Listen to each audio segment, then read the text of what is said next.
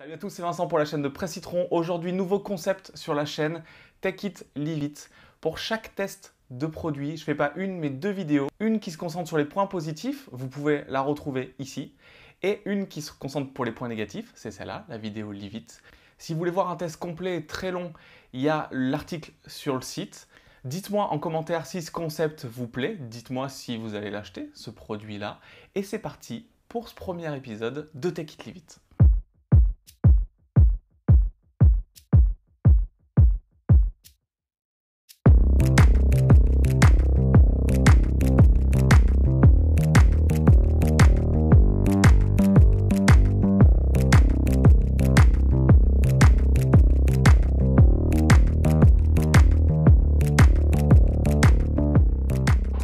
Alors pour attaquer les points négatifs de ce Pixel 4a, c'est forcément les performances. L'expérience au quotidien, elle est cool, c'est fluide, toutes les applications marchent bien, etc.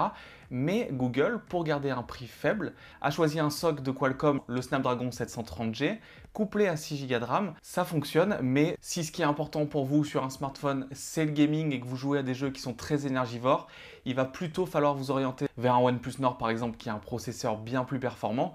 Et euh, l'intégration de ces technologies-là, aujourd'hui le téléphone est très fluide, etc. Mais il faut aussi voir dans le futur, avec le temps, comment ça va se comporter. Google a dit qu'il allait avoir 3 ans de mise à jour sur ce Pixel 4a. Est-ce que le téléphone dans un an ou deux ramera? Il va falloir un peu de temps pour le savoir. Par contre, si vous n'êtes pas un gamer, euh, si vous avez une utilisation classique d'un téléphone, il fait largement l'affaire et vous le verrez dans la vidéo des points positifs. Vu son prix, c'est vraiment un excellent téléphone.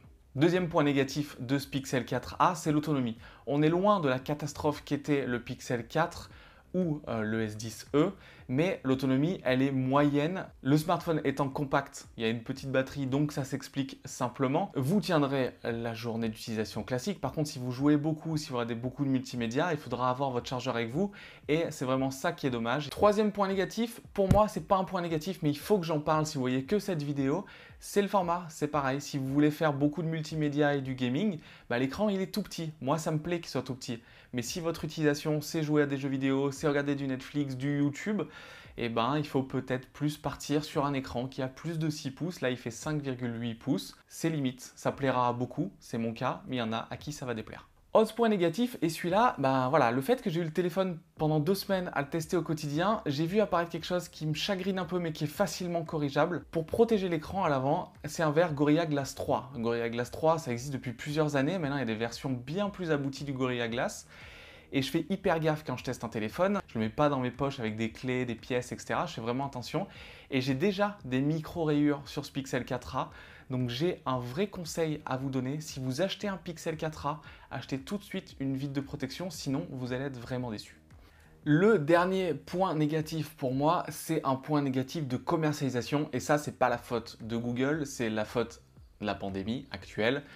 La date de sortie a été vraiment très repoussée et là, ça a été assez bizarre parce qu'on a eu l'officialisation en août, ça fait plus de deux semaines que je l'ai en test.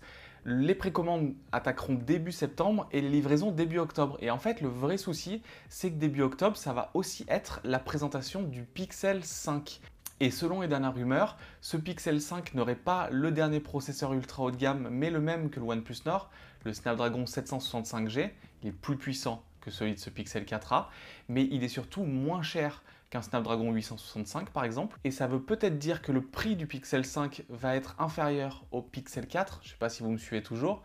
Et peut-être qu'il faut patienter de voir les nouveautés du 5 pour voir s'il est vraiment bien bien mieux que ce 4A, parce que s'il y a 200 euros par exemple de différence, il faudra peut-être plus se diriger vers un Pixel 5.